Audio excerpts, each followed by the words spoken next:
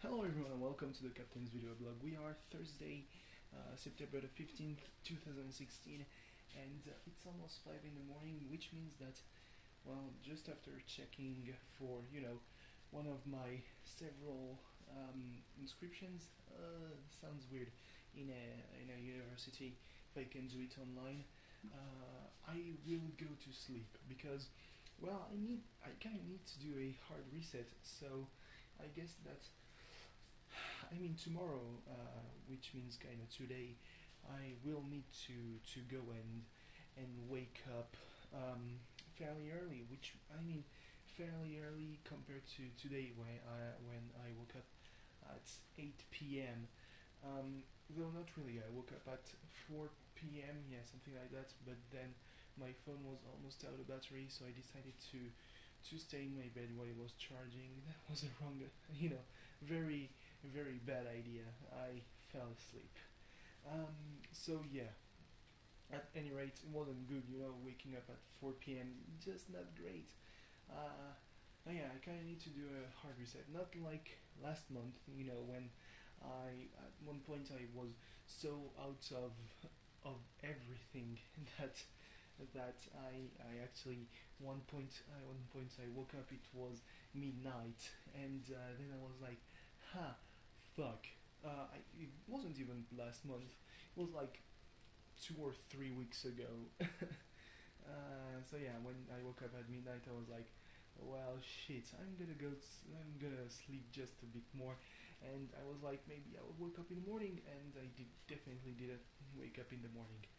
So yeah, uh, that's something. Um, but you know, I need to to enroll in three schools uh, because my diploma needs to be validated by three schools for some reason. You know, I could very. I mean, in my head, I could very much do with only one school this year because I only have to do my internship, and my internship is only supervised by a professor from one school.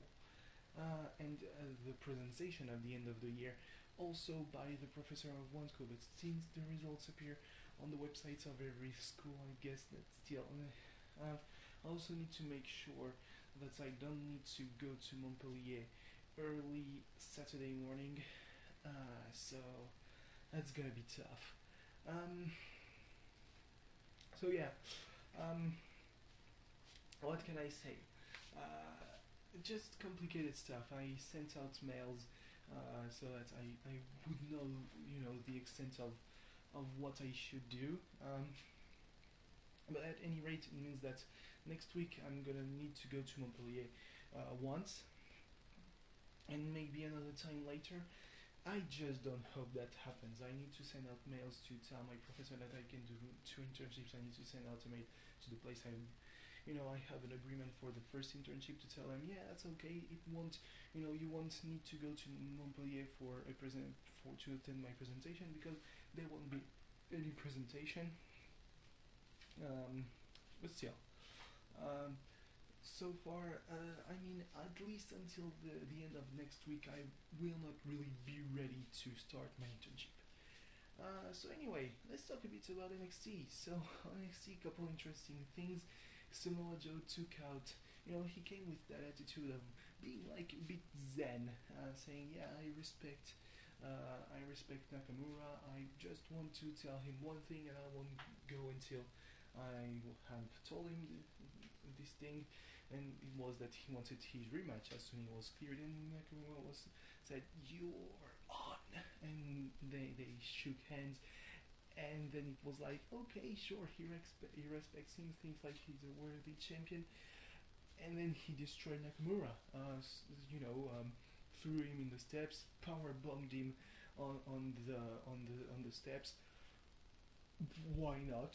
Sure. Um, just it kind of killed the the crowd because when Liv Morgan won her match against R- Rochelle Fazio, uh, it was fucking quiet and uh, then it looked like Liv Morgan had some kind of a death wish because she challenged Asuka, uh, Corey Graves, and that's when it becomes a bit, a little bit mad, bad.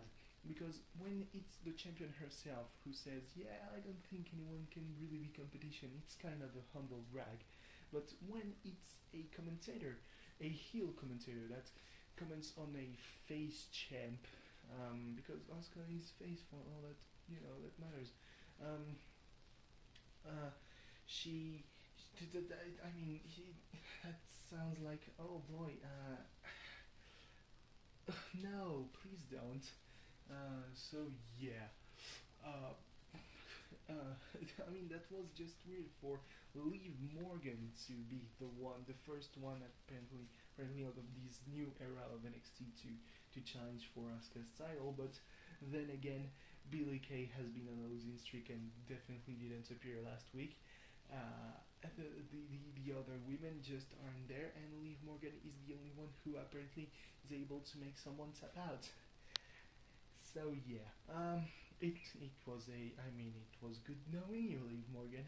Uh, I hope you just will be able to wrestle to wrestle after uh, Asuka just steamrolled you. Um, so yeah, um, other matches include Drew Gulak and and Hideo Itami going at it like hard hitting match. When I say hard hitting, were slaps, there were kicks, violence.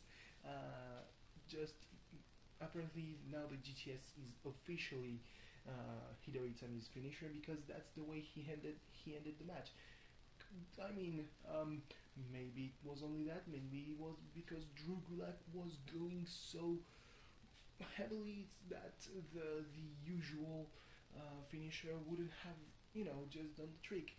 And then it was a little bit awkward because of course there was all the all, all the celebration. Then again, um, um, the, the segment where Nakamura had to to be stretched out of uh, of the NXT arena was hella long. I mean, even Corey Graves went there, which you know I felt you know maybe was to make it more legit, but then again, you don't really need to make it more legit. Um, so yeah, uh, uh, so while uh, Hideo was celebrating, I was waiting for Austin to come out and you know try to kick the shit out of him like he did with No Way Jose for all those weeks. But he didn't. Um, speaking about No Way Jose, he lost to Bobby Roode. Um, you know, it was to be expected because Bobby Roode uh, obviously isn't going to lose for a while.